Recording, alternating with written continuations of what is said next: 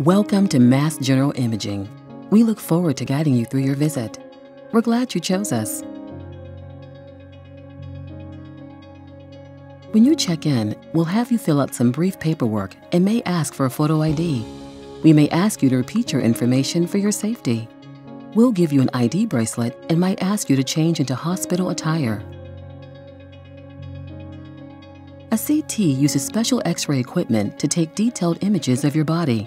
Most exams take less than 15 minutes on the scanner, but some can take longer. Some exams use contrast. There are two types, the kind you drink and the kind you get through an IV. Contrast helps us see images more clearly. We can usually tell you before your appointment if you need contrast. When it is time for your test, a technologist will bring you into the exam room and position you on the table. Technologists are specially trained to guide you through your exam.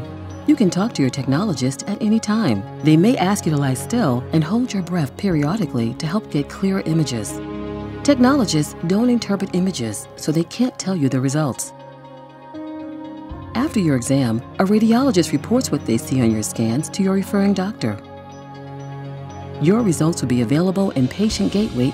Let us know if you have any questions. Your privacy and comfort are important to us.